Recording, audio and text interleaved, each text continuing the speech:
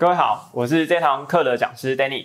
今天要带来的题目是协作不想吵架，快用版本控制系统。在开始之前，先简单自我介绍一下，我是 Danny，目前任职于雷亚游戏。然后是 CCon 学员居年会的共同发起人，然后你可以点开那个网址，你就会看到今年关于年会的网站。那 CCon 是一个由学生发起的一个研讨会，那也在等等的过程当中，我可能会拿 CCon 的筹备作为专案管理的案例。然后以及呃我的个人网址 Danny 老万，你可以打开 Danny 老万找到我的相关联络资讯。那你可以加我 Facebook 好友或任何 Social Media 的好友，然后透过 Social Media 来问我问题。在这一个影片你继续看下去之前，有些需要提醒你的提示，这是一个预录影片，所以如果在过程当中你有碰到任何听不懂的东西，你可以先按下暂停，打开你的 Google Search 去搜寻你听不懂的地方或那个关键字，又或者是你可以快转跳过你已经会的东西。那你也可以倒带去重新听一次你没有听懂的部分。或是你学我我讲太慢，你也可以透过两倍速的方式加速整个影片播放速度。在影片的过程中，你有发现任何的问题，你听不懂、看不懂，你没有办法解决，你需要有人帮助你，你卡关了，那你请记得要到 Slack 上进行发问。打开 Slack 的 Edu Camp 的频道，又或者是 Edu 的频道，去 mention Danny，你就可以找到我。我会在我看到讯息的时候回应你的相关问题。这一堂课的投影片都在这个网址里面，所以你可以透过这一个网址去存取到投影。片里面的任何连接以及相关关键字，你可以复制贴上，可以打开这个投影片网址，跟着下面的课程进行。在专案的过程当中，常见的惨案是这样的：各位在期末报告或者是在学校的分组报告，应该常常都会做这样的事情。你会打开你们一个群组，有你们的团队成员们，然后你是负责做投影片的那一个人。你今天把投影片做好了，传到群组上面去，然后。里面有另外两个人你的团队成员，同学 A、同学 B。同学 A 看到你的投影片之后，他就觉得，哎，你这个顺序不行，连跟你讨论都没有讨论，就直接调整了投影片顺序，然后觉得说，哎，这个版本你可以拿去用了。下一个同学 B，他又觉得啊，你有些图片没有很好，他一样没有跟你讨论太多东西，他就直接把它改了一个版本传来给你，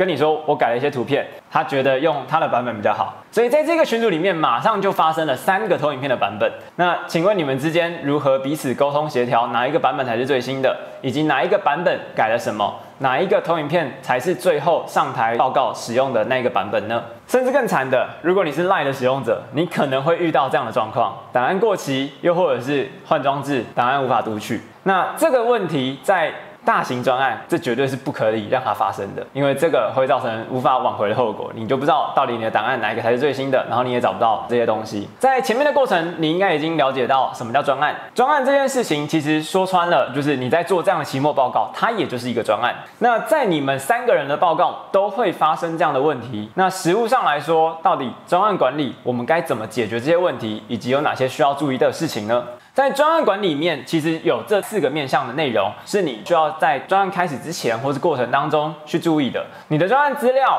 那些文件或是程式码，你该放在哪边？放在哪里和大家共享，是一个你需要解决、需要在事前厘清的问题。下一个沟通平台，沟通的平台，你们前面选择了通讯软体，这是一个可以的选择。但是，是不是有些专案比较适合透过 email 或者是其他地方去沟通呢？这也是一个可以考虑、可以思考的问题。下一个是在你的专案进行当中，一定会有很多事情是需要被处理，有很多的问题需要被解决。那这些事件、这些议题的管理，它该放在哪边去做后续的维护跟？管理，然后去记录下来，你有哪些事情要做，哪些事情需要被解决，这个也是在专案管理过程当中会发生的需要解决的问题，以及在你的专案到达一定程度的阶段的时候，你会对外发布，会发布给不管是你的组员们也好，又或者是你的其他合作伙伴们来接收一些意见跟回馈。那这些意见跟回馈，你要如何接收，以及最后如何转化回事件跟议题的管理，就是需要去解决的课题。这是在专案管理上需要注意的几件事情。那在我们现在这个时代，常见的解决上面这些问题的方法，通常就是透过线上协作以及版本控制去解决这个问题。所以在你们三个人的世界里面，虽然你们好像沟通的还没有一点都不 OK，但实际上来说，我们现在都是用线上协作以及版本控制的方式来解决这个问题。那下面的案例是 CCOM 在其中一次零筹的会议文件，这里是以 Word 为表现，因为方便大家能够理解跟去看懂。发生了什么事情。那在版本控制里面，或者在这种线上协作里面，我们最重要的事情是你要知道是谁改了什么。这件事情在 Google Docs 它就非常明显的标示出来了这件事情，所以你可以看到这一句话。是谁写上去的？然后是由哪个人在哪一个时间点做了什么操作？这就是所谓的版本控制的精髓。及我们刚刚前面有提到，负责人是谁？这一份投影片到底是谁负责的？到底是谁上去报告？谁负责决定投影片的内容顺序该是什么？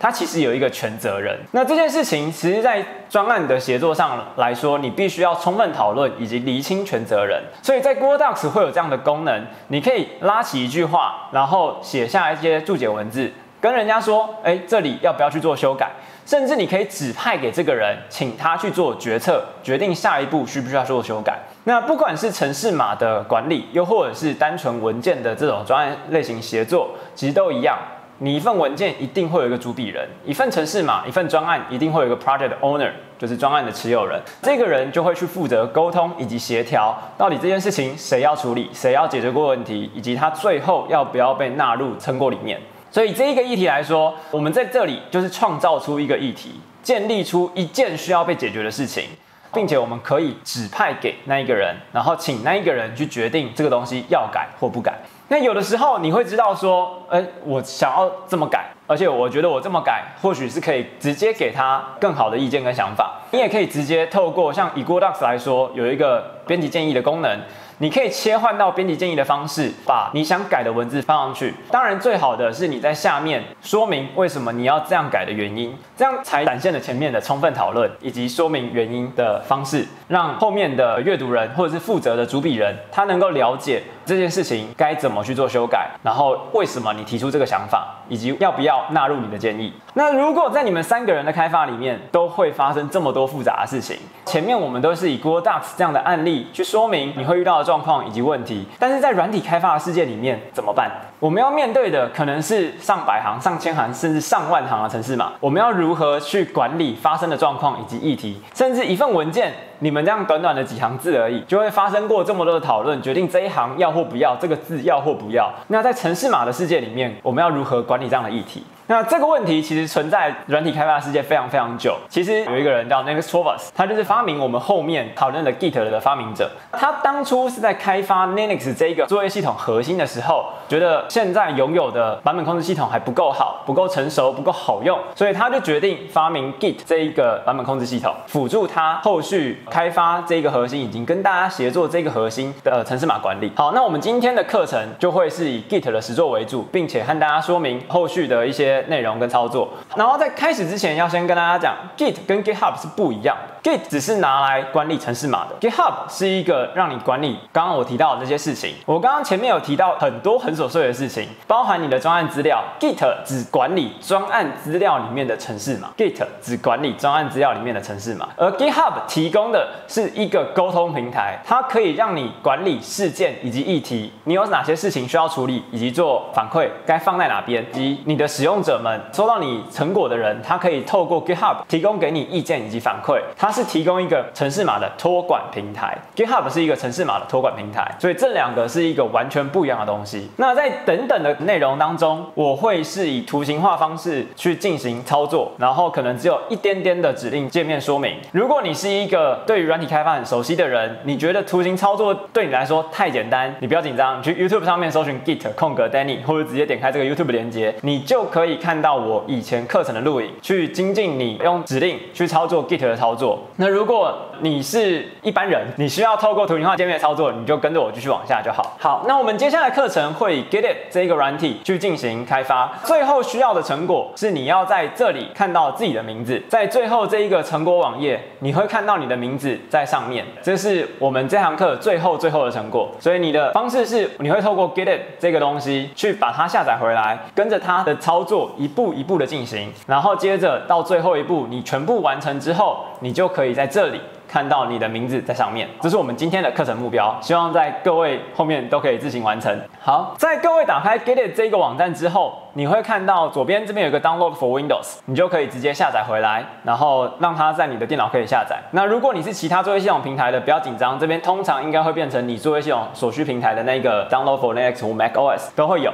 下载回来以后，或是相关的一些安装说明，如果你是 Mac 的话，你可能会撞到一些问题，就或许需要看看文件。那反正你可以 mention 我，或者是你如果是熟悉 Mac 的使用者，我相信你可以自己解决。好，那下载回来之后，你会得到一个压缩档，请你把这个压缩档解开来，你会看到里面有一个 Git 的执行应用程式。你要执行的就是这个应用程式。那在 Windows 第一次执行，你可能会碰到这个 Windows 以保护你的电脑的问题，不要紧张，你就点开这个其他资讯，然后接着你就可以按下人要执行。基本上这个应用程式它都是开放原始码的，所以不用担心这个是一个恶意程式或是有恶意内容在里面，它的原始码都在 GitHub 上面。所以如果你对于这个应用程式它怎么撰写出来的，你有兴趣，你想要了解，你都可以透过这边去看到它的原始码。好，在打开了这个应用程式之后，你会发现它是英文的。那你可以尝试切换看看能不能切成中文。在我这边是可能有些问题无法进行。那没关系，我们就用英文的方式继续进行下去。好，那在这一个 Git 里面，它就是一个图形化界面，然后以及透过一步一步的教学内容，去让你可以完成学会 Git 怎么操作，以及最后发送一个 Pull Request 到其他人的专案里面。那我们就继续进行。你可以点下面的 Start Challenge。那在 Challenge 开始之前呢，其实在这边它要给你一个 Dictionary，是一个方便你去查询一些你需要用的基本操作的指令。这是一个你可以运用的内容，这是你可以方便来查表的东西。又或者是这边有提供一些 resource，是提供给你一些其他 Git 的教学、安装的东西以及教学的一些文件，你都可以在这边找到更多更多的文件以及内容。OK，好，那我们就可以直接开始这个 challenge。好，那在第一个目标，我们首先是要安装 Git。那安装 Git 这一步呢，或许你的电脑里面已经有 Git，但是如果你从来没有碰过这个东西，可以按照这个方式进行。那这边提供给你的方法是，你可以透过 GitHub Desktop 这个 App，它是一个图形化界面的应用程式，让你去方便操作跟了解 Git 是什么东西。那我们最一开始就一样使用 GitHub Desktop 这样的应用程式去帮助我们进行。同样的，你可以点击这边的连接，或者是你可以直接自己 Google Search GitHub Desktop，你就可以找到 GitHub Desktop 的网站，然后把它下载回来。好，下载回来之后，你就可以看到你得到了一个 GitHub Desktop 的执行档，那你就把它点两下，直接可以开始安装。那它在安装的过程当中，其实是非常安静、非常沉默的。呃，我先准备一个页面，让我们偷看一下它到底帮我们发生后面会做了什么事情。好，在你的本机的 C 槽。会有一个使用者，这个使用者里面你可以找到你自己的使用者名称。那有的，如果你是笔电预设的话，可能是 user 那一个。那基本上像我这边，我的建立使用者名称是 Danny，那就点了点进来 Danny 这边。其实在这里，呃，它有帮我们产生了一个档案，就是这个点 git config。这是在刚刚安装的过程当中，我什么都没有动，它就直接帮我们长出来的档案。那我们可以来偷看一下这个档案里面的内容是什么东西。Note。这一个里面的档案内容呢，它目前是一个呃相对空白预设产生的内容而已。这边好，先记得我们现在这个档案的内容是长这样。那在等等的刚过程当中，它会希望我们帮它设定一些东西。那我这边是它需要你登录 GitHub 账号。那我这边这一步我们先跳过。好，然后接下来这里是一个设定你的使用者名称以及你的 email。刚好提过。你需要在专案管理的过程当中，版本控制当中了解是谁改了什么，那就是这里，这是非常关键的一件事情。你要让人家知道这个城市码是谁改的，所以在这里你要开始跟他说你是谁，然后以及你的 email、你的联络方式是什么，那这样其他人才可以联络到你。然后下面就会有一个预览的状况，你可以透过这个下面的预览的方式，让大家知道说，哦，这一笔是谁改的，这是我们后面能够。透过 Git 去了解某一行程式码到底是谁改的关键原因。好，在我们按下这一个 Finish 之后，其实这一个档案就已经被改动了。GitHub Desktop 它其实默默的就把呃刚刚我们设定的内容放到了那边去。那我们就可以再打开一次这个点 Git Config，你会看到它帮我们把刚刚的 Danny 以及我的 email 放进来了这个 User 的区段。这样子的方式就是它在透过这一步帮我们建立这个东西。好，然后其实我们回到 Git，我们其实就已经完成了这一步需要它需要我们操作的东西。可是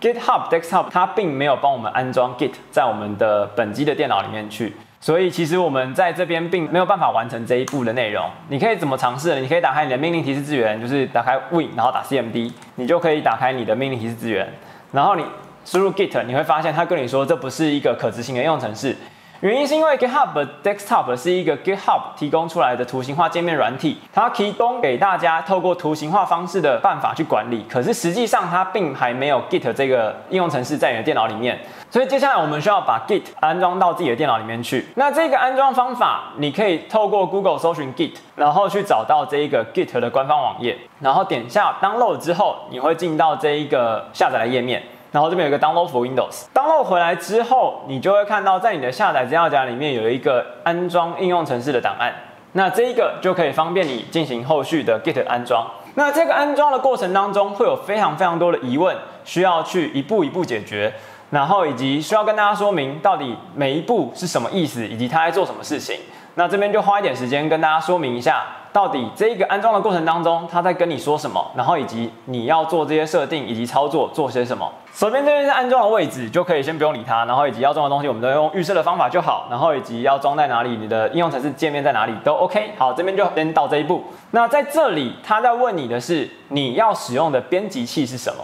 我们的专案如果是程式码，你可能会用某些 IDE，不管是 Notepad 加加或者是各种编辑器的软体，像这个记事本也是一个编辑器。在 Git 的操作过程当中，会不断的有各种需要操作的编辑器需要跟你互动，所以在这边，呃，它提供给你非常多编辑器的选择。那预设它选择了 VIM，如果你是一个初学者，我不建议你选择这个 VIM 的工具，你可能最简单的可以选择 Notepad 加加这个东西。那这边它会是灰色，没有办法进行下一步，因为你需要去把它下载回来安装。所以如果你希望透过一个比较友善一点的编辑界面的话，你可以去下载 Notepad 加加。又或者是你可以尝试学习使用 Vim，它是一个不错的东西，或者是你可以用 Visual Studio Code，也是一个近期大家常见使用的编辑器。那为了后续的教学方便，我先选择用 Notepad。这里所编辑的设定都是可以去做修改的，那所以就不用紧张，就是这边的东西其实都是一样的，它是帮我们改到刚刚这个点 git config 的档案里面去而已。那我们这边就下一步，接下来可以就继续不理它，它只是问你说预设的分支名称，那这边就我们用预设的那一个就可以了。好，下一个这里是是不是你要请 git 帮你安装一个 shell 一个操作的像命令实现资源这样的工具，然后方便你。做后续操作，你可以选择预设这一个，方便你后续的操作，因为你会有比较多的指令是和 Linux 共用的。对，你可以选择预设的这一个就好。然后这边也可以不用理它，都不用理它，都不用理它。好，这个的话是你可能在和其他人协作的时候需要注意的地方，因为在 Windows 换行和在 Mac OS 或是 Linux 底下的换行不太一样，所以如果你需要跟别人协作的部分，你不希望你的换行打扰到别人的话，你可要选第二个会比较好。但是如果你协作的专案都是 Windows 人居多，那可能没有影响，你就选第一个。那这个也是可以根据专案去做后续详细的修改，然后这边也可以不用管它，下一步，下一步，下一步。下一步，那原则上后面应该是没什么问题，你就可以安心的安装完你的 Git。好，在安装完这一个应用程式之后，我们需要重新开启 Git，因为在你刚刚还没有安装 Git 过程当中，它其实抓不到你的系统里面有 Git 这个应用程式，所以我们需要把它关闭，重新把它打开来。在我们重新打开来它的话，就会成功抓到 Git，而且它会发现我们已经有成功的设定好我们刚刚的使用者名称以及我们的 email。好，那我们给它一点点时间安装，然后这边同样开回来到 C 槽使用者底下，C 槽使用者的 Danny，好，然后这边已经安装完毕，接着的话，我们再重新把 Git 打开来，然后一样 Start Challenge，好，你会发现这一步其实我们都已经做的差不多了，它就在我们安装 Git，并且设定好我们刚刚要设定的使用者名称以及 email，那这边你就可以点验证。然后你就会发现你顺利完成了这一步，然后这边的蓝点点就会亮起来了。那其实，在这一个里面，它希望我们在图形化界面以外，就是在透过命令提示资源的方式操作。那这个我们等等再继续。那如果你真的已经会了，请记得去看我其他的 YouTube 教学影片。接下来我们要建立一个 repository，也就是所谓的版本库。我们要如何建立一个版本库呢？我们透过 GitHub Desktop 的应用程式，它可以有非常友善的方式帮我们去建立这个版本库。第一个是它去把网络上的版本库抓回来；第二个是我们要建立一个在我们自己硬碟里面的一个新的版本库。那一个版本库，你可以想象它就是一个专案。原则上，一个版本库就是一个专案。有些专案比较不一样，那我们这里不讨论它。那原则上来说，一个版本库就是一个专案，所以我们在这里选择第二个，去建立一个在我们本机目录建立一个新的版本库。那在这一个实作要求里面，它希望我们建立一个叫 Hello World 的版本库，其实就是资料夹名称要叫做 Hello World。那我们这里就照样打 Hello World。然后它建立的位置是在我们使用者的文件里面有一个叫 GitHub 的资料夹，那我们这边就遵照它，不理它没关系。那我们在你的文件里面打开来，你会发现目前应该是全空的。在我按下 Create 的这个瞬间，它其实帮我做了一堆的事情。它帮我把 GitHub 这个资料夹建立起来，而且建立起了一个资料夹叫做 Hello World。这个 Hello World 就是我们的版本库，就是我们的专案资料夹。在这个专案资料夹里面呢，它其实还帮我们建立了一些东西。我们可以把隐藏的项目打开来，然后就会发现有一个隐藏的资料夹叫点 Git。这个其实在做的就是在这边的第一步 git init，在完成 git 的初始化之后，它就会在这里建立一个点 git 资料夹，这里面就是你的城市码的版本库，它就全部东西都在这个里面。那所以其实我们已经完成了这一步所需要的教学，在这一步里面，我们只要点选选择我们刚刚建立起来的资料夹，就是 GitHub 里面这一个 Hello World，然后按下选择资料夹，它就可以进行后续验证，然后就会通过我们刚刚所进行的上面操作。所以我们已经成功建立起一个在本机专案的版本库。那接着就可以进行下一步，下一步我们要开始实际在这一个版本库里面去建立一个我们自己的档案。然后开始撰写一些内容，说明一些东西。那透过这边的界面来说，我们现在在 Hello World 这个资料夹里面，那我们就可以直接新增一个，它这里要求我们是叫一个叫 readme 点 txt 的文件。那我们这边就新增一个文字文件，然后叫 readme，然后打开它来，我就打一个简单的字 Hello 存档，然后离开。好，在我完成这个存档离开之后，我们回到 GitHub Desktop，它就会自动侦测发现哦，这里有一个档案变动了。然后我可以开始去记录下我是谁，我做了什么事情，改动了这个文件。那这边它其实预设帮我们建立了一个很友善的文字讯息，就是 create readme 点 text。那确实它就告诉我们我们在做这件事情没有错。所以其实在这里你就可以完成第一笔的记录，就是我戳下这个 commit to man，它就帮我记录下我做了这个操作到主要的分支上面。好，然后你可以再点下去这个按钮之后，我们回到 history，你就会看到在这边。有这样的内容，就是它有这一笔的记录。我 Danny 在这里建立了一个档案，叫做 readme 点 txt 的档案，然后里面是一行字 hello。那其实就已经完成了我们刚刚 get it 里面的这一个操作。他希望我们新增一个档案，然后把它加入进去，然后完成这个操作。同样的，我刚刚这条夹已经选好了，我可以直接点验证，就通过了这一步的操作。下一步，他希望让我们让 Git 知道我们 GitHub 的使用者名称是什么。好，来到这一步，我们需要到 GitHub 上面去了。GitHub 刚刚我提过是一个协作的平台，那因为后续的管理你都需要和大家有这样的协作空间，所以请你打开你的 GitHub。如果你没有账号的话，你需要透过呃 GitHub 的右上角这边有一个 Sign Up 去注册一个你的账号，那你就透过这边点进去。然后去输入你的 email，去完成后续的一连串的账号的注册以及整个流程。那有了你的 GitHub 账号之后，我们就可以进行后续的相关操作。那像我 GitHub 上面的 user ID 是 Danny 零二二三，所以在这一步里面，它需要让我们知道说，我们要把我们自己的使用者名称设定上去。那这一步呢，请你就需要打开我们刚刚说的命令提示资源。刚刚我们安装 Git 过程当中，其实在这里右键我们就可以选多了这两个选项，一个是 Git Bash Here，我们在这里就可以点开 Git Bash Here，我就可以透过这一个命令提示资源的方式，在这里做 Git 的相关操作。我们再回过头来看一下 Git GUI Here 会发生什么事，它其实是一个图，方便我们去了解我们到底做过什么事情。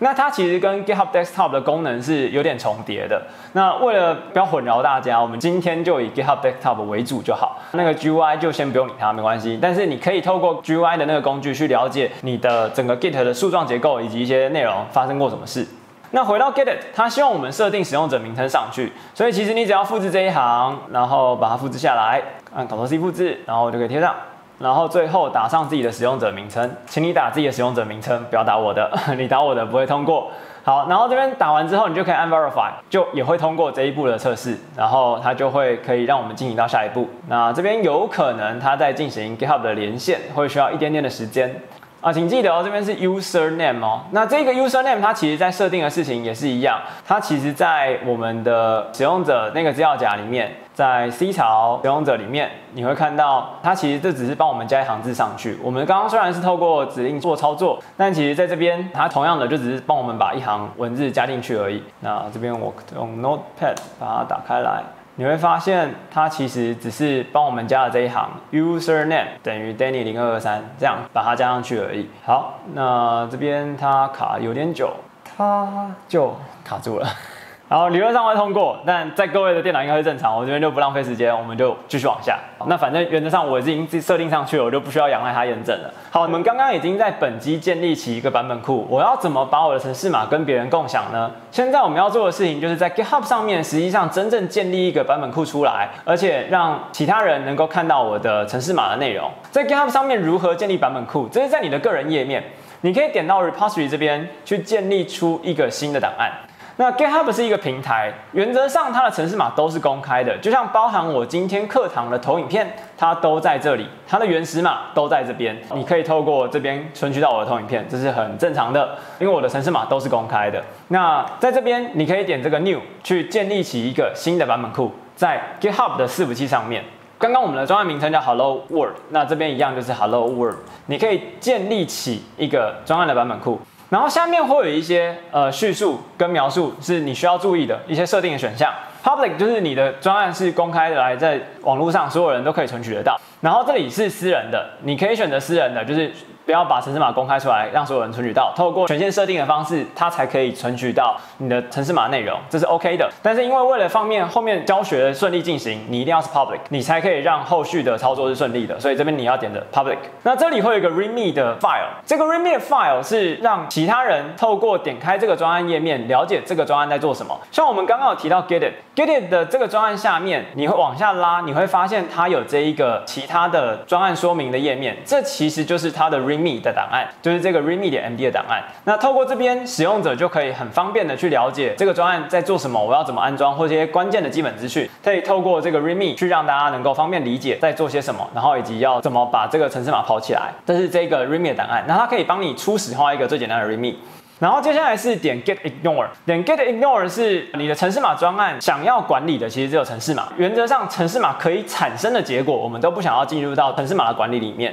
所以这边它有提供给你一些基本的城市码语言，它预设会产生的一些 binary 档案，就是我们不想要版本管理的档案，就可以放在里面。那这边我们先选 none 就好。然后接下来是选取一个授权。所谓授权，就是虽然我们刚刚选择 public，我的城市码都是公开在网络上的，但是其实授权这件事情，并不是所有人都可以直接操作的，并不是所有人都可以随便抄你的城市码。所以回到授权条款这件事情，可以透过我投影片这边连接去了解所有开放原始码的授权条款。好，那这边我们一样看到它是全空的。好，接着你就可以在左下角这边点下 Create Repository 来建立起一个空的远端版本库。在建立起完远端版本库之后，其实下面有很友善的说明文字，告诉你你可以怎么开始你的这些操作。那在这里我们不用管它这么多，在这边注意看有一个 HTTPS 或者是 SSH。那又或者是，如果你刚刚的 desktop 已经有登录的话，你可以选这一个，它其实可以帮你把相关设定导入进去。那在这边我们用指令方式操作，我们就先选 HTTPS，请确定你使用 HTTPS 这一个，然后我们就可以复制下面这一行有一个 git remote add，把这边复制下来，然后直接贴上到你的指令界面去新增这一个远端的版本库，让你的本地的资料夹知道说哦远端的版本库在哪里。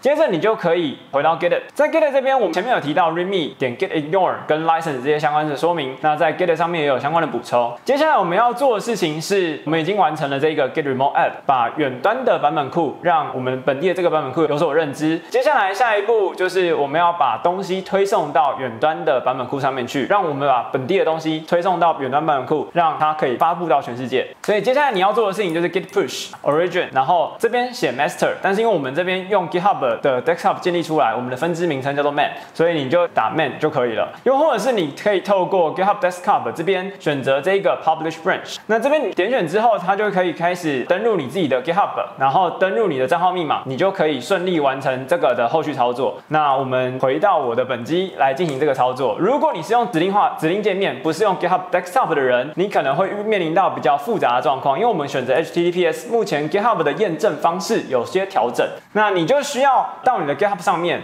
选择 Settings，然后左下角这边有一个 Developer Setting，然后选到 Personal S S Token，这边选 Personal S S Token，然后产生一个新的 Token。这个东西是来取代你的密码的，因为在现在追求比较安全，所以你可以先建立起一个，然后这个时间你可以设定一个永远不要过期，但它是比较危险的选项，你可以设定三十天。那建议未来大家其实可以学着使用 SSH 的方式去进行连线跟沟通，会比较方便一点。那因为这里为了教学方便以及顺利，所以我们透过过这样的方式去快速的通过这个流程。那我们这边先产生一个 token，那这边就你可以想象它是一个你的暂时性密码，它只能用三十天的密码。好，那接着回到你的指令界面，你就可以 git push man，然后 enter，接着之后输入你的 GitHub 的账号，然后贴上我们刚刚的那个产生出来的临时密码，你就可以顺利的把东西推送上去。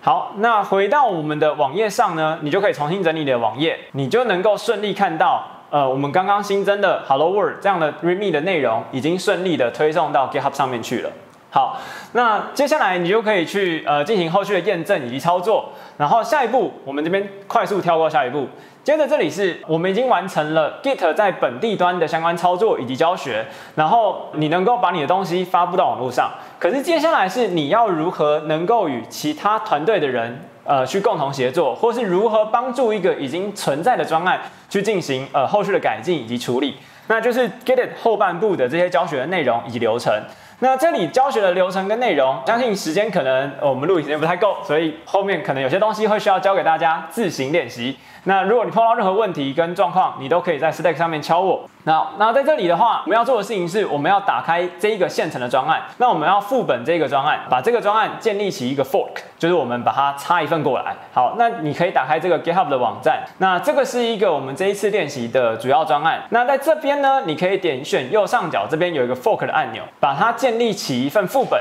在你自己的账号底下，然后你就可以 create a fork。建立完之后，你就可以把它放回来你的本机。你要把它拉回来你的本机。为什么我们需要建立一个副本呢？因为这个专案你并不具有任何的权限可以做操作，你必须去建立一个副本，把它变成是你可以操作的一个专案，你才可以进行后续的操作以及使用。那接着我们要做的事情就是把这一个东西副本回来，然后把它拿回来你的本机。所以点选这个 code 的这边，然后一样选 HTTPS 复制。好，然后回到你的 GitHub Desktop。这边我们就先跳过这里的登录，在各位的操作应该会是正常的。好，再点选 File，然后这里可以 Clone Repository，你就可以贴上我们刚刚的网址，就是刚刚我们副本这一份哦，请记得要选择自己副本这一个，然后进行 Clone 的这个操作，它就可以开始进行呃把。远端伺服器的内容复制回来的这个过程，好，那它就可以成功顺利回到你自己的电脑去进行后续的相关操作。在 Git 的后面的相关操作就是你要建立起一个新的分支。